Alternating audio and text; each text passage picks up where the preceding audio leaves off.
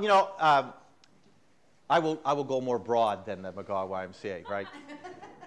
so one is, I, I, didn't say you're lacking. I said to be a great YMCA, you have to have a great international program, right? Uh, second is, and every YMCA is challenged with this, um, pressing the philanthropic case and the charitable status of the enterprise, both for your own purposes and for the purposes of the movement. Um, fundraising, both capital and, and annual giving, is a big challenge for all YMCAs, but it's the heart of who we are and what we do. It allows this YMCA and others to extend scholarship support for those who couldn't otherwise afford to participate. Uh, it creates a margin uh, for enterprise and invention and imagination.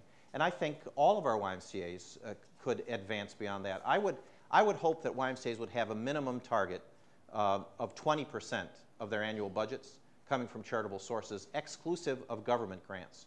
Now, nationally, I said, we, we crossed over, I think I said this, we crossed over $5 billion in total economic enterprise for the YMCA in 2005.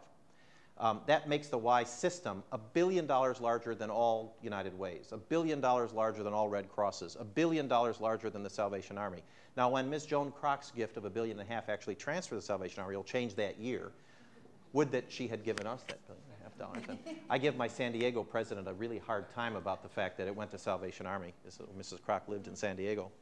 Um, and uh, of that, about a billion three hundred million comes from contributed sources. So figure it on 5 billion, that's a 23% or about uh, amount.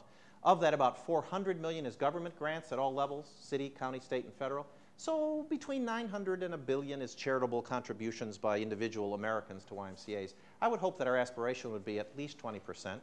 Uh, and that's tough. It's a highly competitive environment. Evanston is a highly competitive place. Great charities, the YWs, the United Ways, the Community Foundation, Northwestern University, on and on and on and on like that. But we know this, it's also an incredibly wealthy and generous community. And if the case can be made, case is what's most important, and then a professional approach to it. And volunteers have, had, have got to lead